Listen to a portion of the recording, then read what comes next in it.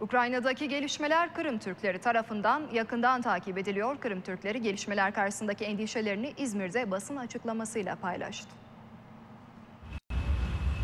Kırım'da son günlerde yaşananlar 70 yıl öncesini hatırlattı. Rus işgalinin etkilerini unutamayan Kırım Türkleri endişeli. İzmir'deki Kırım Türkleri Derneği 26 soydaş dernek temsilcisiyle buluşup gelişmeleri değerlendirdi. Kendi insanlarımız, kendi gençlerimiz akşamları mahalle başlarında mezarlarını koruyorlar. Han Sarayı korumaya çalışıyorlar, camilerimizi korumaya çalışıyorlar. Silah yok efendim. Tatar evlerini ve Tatar Milli Meclisi'ni boya ile işaretlemeye başlamışlar. 1944'teki sürgünü yaşayan 92 yaşındaki Habibullah Arslan da durumdan kaygılı. Ailemizden hiçbirisi kalmadı.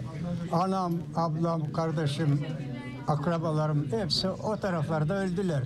Biz bir Kırım Tatarı olarak hiçbir zaman korkmadık, korkmayız da.